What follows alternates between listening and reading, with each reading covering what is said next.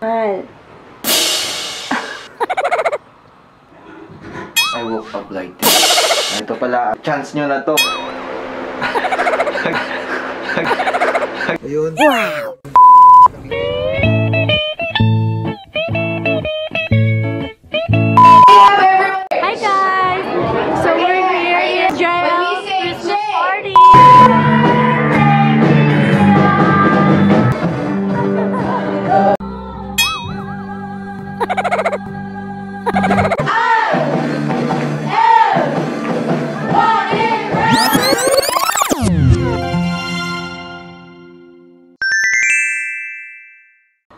Guys, ako si Chris.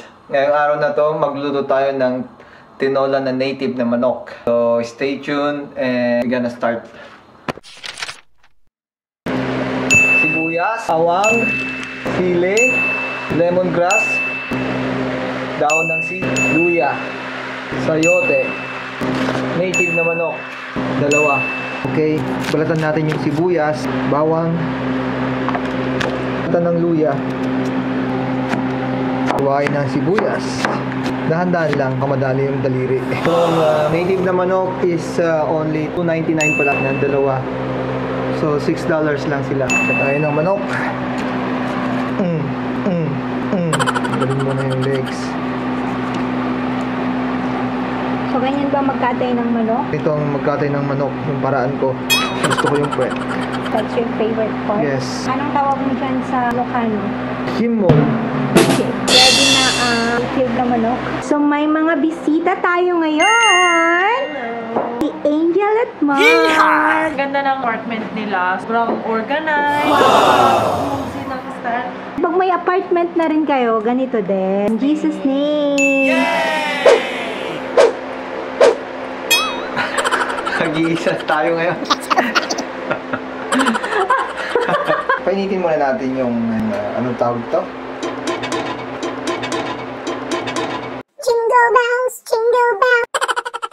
Pat. Bago natin ilagay yung mantika. Okay, mantika. Naku, wala na tayong mantika. Painitin muna natin yung mantika. So anong mga seasonings? Asin, betchin, paminta, tsaka patis. Sibuyas. Haluin lang natin. Susunod natin itong luya. Laya. Kaya sa Ilocano. Ang patanggal ng hangin sa katawan. Ano may kinapuyot. Shout out nga pala sa pinsan ko, si San Flores. Wow, may pa-shout out ka. ng Italy. Katawanan niya ako, hindi daw ako marunong magluto. Noon yun. Wala. Sino pa yung mga nagpapa-shout out sa'yo? Si Dagski. Yan ako. Kumusta ka dyan, ako? Pagawin natin makuha tayo ng tiik. Kikilaw natin. Pero, hindi na ako iinom.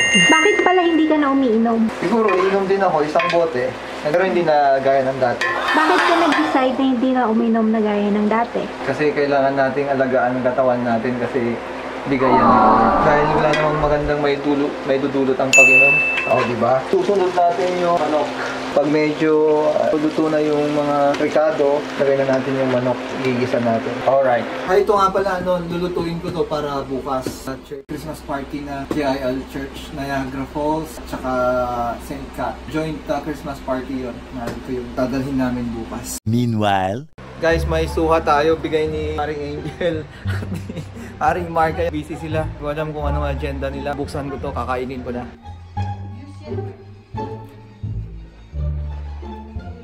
Lukban. Anong English niyan? Pomelo. Wow. May tanim kayong ganyan sa bahay ninyo. Meron. Ano po yung mga tanim ninyo sa likuran ng bahay ninyo? Atis. Sweet corn. Sili. Siling haba. Pula. Manghang. Labuyo. Bayabas. Tapos yung mga gulay. Long. Okra. Sigarilyas. Manggaw. Nyogo. Ayun. a few inches later. Yan, bigay nila. Thank you, guys. Yan. Mali ka ba sa manghang? Tignan mo na. Please don't forget to subscribe to her channel, Angel Hanson Gopiao. Down Down. on the description box Yeah. below. Sarap. Ayun, uh, naglagay na ako ng durog na paminta. Guys, hindi ko muna siya hinalo mamaya na. Takpan ko muna mga 5 minutes bago ko haluin. So, kumukulo na siya. Haluin lang natin. Tapos, maglalagay na ako ng patis. Isa natin sa patis. Haluin ulit natin. Takpan ulit ng 5 minutes. Para manuot yung lasa ng patis sa laman ng manok. Diba? Paras pala kami ni Harabas ang uh, habit. Napaka-friendly ni Harabas, ano? Brother uh, Harabas, more power and subscribe. Paras pala kami baby niya during ng uh, December 31. Napakabait ang tao niya. Alright, guys, ano, kumukulo na siya. Maglalagay na ako ng uh, isang timbang tubig. Uh, ano lang naman yan, saglit lang, mga 2 hours lang.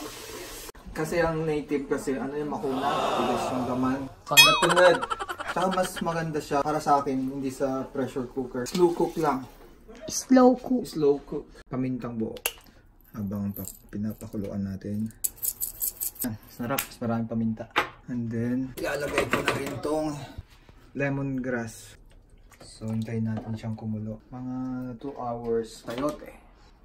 Pag binabalatan mo ang sayote, kailangan yung dagta, iwasan mong malagay sa kamay mo. Gaganon mo sa So, ano yung tawag mo dyan sa Ilocano? Tutot.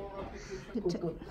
Ayan guys, kumukulo na siya. Nga pala, yung pinsan ko si Roxanne ito, luto ko. Kaya tanong niya kung anong susunod kong lulutuin ito.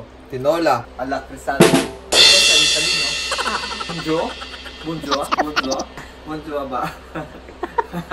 Bunjono. Bunjono! Bunjono! Bunjono! Nakailang oras ka ng pakulo? Isot kalahati pa lang, tutok na ako. Patayin ko na muna, tapos tutuloy ko bukas. Ah, so paano ba yan? See you tomorrow. Eight hours later. Well.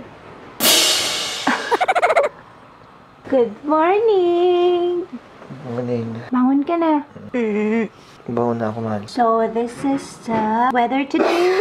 Temperature is 4 degree. It's 7.35 a.m. The bagong gising look. I woke up like this. Check natin ang ganap sa labas. Oh my God, it's so cold! This is the outside view dito sa balcony yun. Pero makapasyal kayo dito one time. Ito lalo na pag fall, napakaganda. Yan, dito po ang aming view. Ito magiging view ni Baby Luke. Amazing. Good morning guys! Um, gumising tayo ng maaga para pakuluan. Niluto natin na tinola, tsaka magluluto na rin ako ng breakfast namin. Anong lulutuin mo for breakfast? Itlog, yun lang naman meron tayo. At bacon. Ito yung lagi kong kinikrave nung nasa Saudi ako, bacon. Ah, ito pala, chance nyo na to para yung mga hindi pa marunong magprito ng itlog. Papakita ko sa inyo kung paano magprito ng itlog. Mantika, kailangan natin ng mantika. Mainit na ba? Don't try this at home. Naparami ata yung mantika. Yung ilong. Huwag niyong gagawin to without the supervision of your parents, okay? Delikado ang pagbibrito ng itlog. Yan. Diba? Kunting asin lang. Tapos, moderate the fire. Yan, malapit nang maluto yung itlog. Lagi mong gagantuin kung gusto maluto yung pula. Yan ang kanyang special sunny side up. So, kakain muna kami ng breakfast. The rice, pinainit lang. After one hour guys na pagpapakulo, malambot na yung uh, manok natin. Two hours kagabi. Tapos ngayong umaga, one hour para maging tender yung uh, meat. Titimplahan ulit natin kasi medyo matabang. So, pinang timpla mo yung patis. What is patis? Fish sauce. So ilalagay ko na yung kamote, kamote, sayote. Siyempre nahugasan na to guys. Yan. So after siguro mga 5 to 7 minutes na pagpapakulo, papatayin ko na siya. Nalagay ko na guys yung ano dahon ng sili para sabay silang kumulo. So ayun guys, kumukulo na siya. Ang hinaan ko lang tapos lalagay ko na yung sili. Sili. Pagkalagay ko, sabay patay. That's it. Um so uh, guys, luto na yung ating tinola. Yay! Dadalhin namin yan sa church, guys. Ah, maliligo na kami at magbibihis and then see you sa church, guys. We're here outside. It's a nice and sunny day. There he is.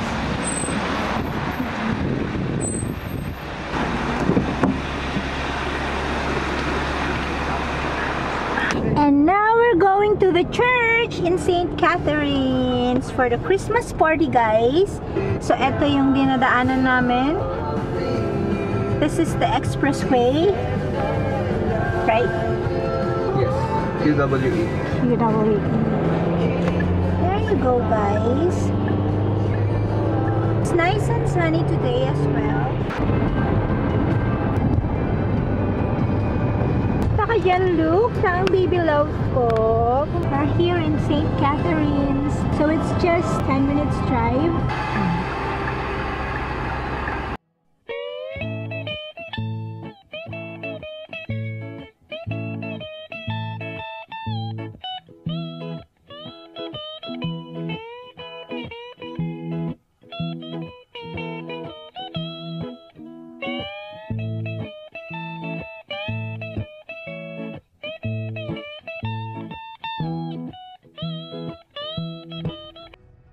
We're here! Ayan, naka... Chinalas lang. Ayan na si Dada. Dala na yung ulam. Morning, Luke! Nakailang ba nalabas to? Tita po. Anytime.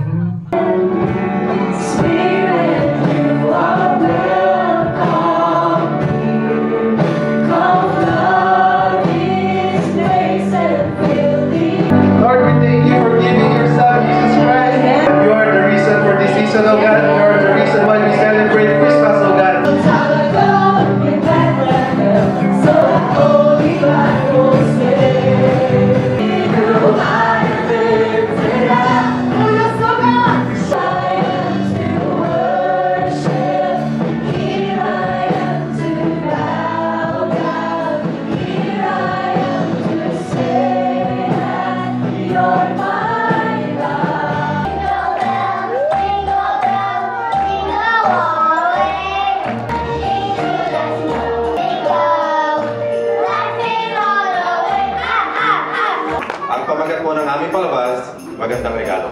Hello? Hello. Hello pa? Hello pa. Lord, dance na naman, Buri! Ang regalong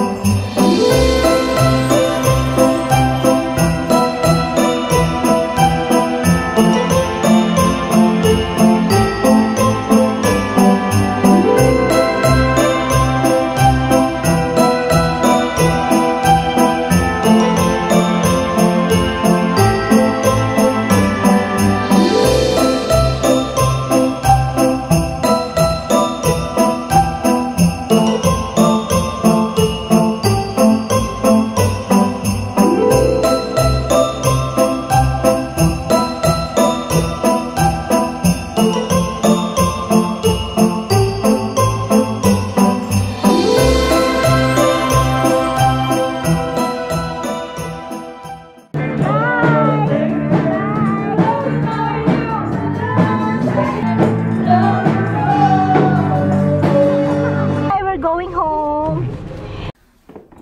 Pagod. Ang pagod. Kararating lang namin guys, galing ng church at uh, masaya.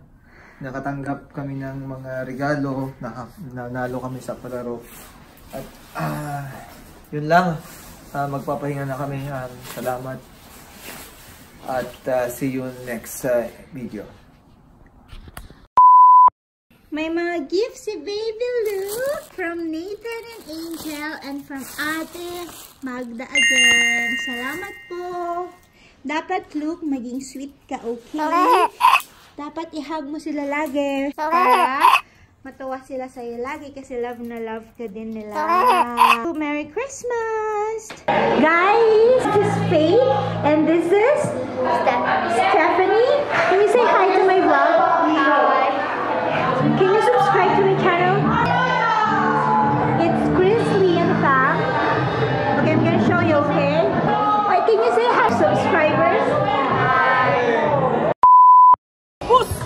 Ano, masarap ba? Ay, ang sarap talaga!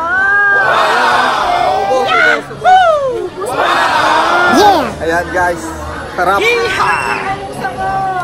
Masarap daw, masarap. Thank you! Thank you sa sabaw!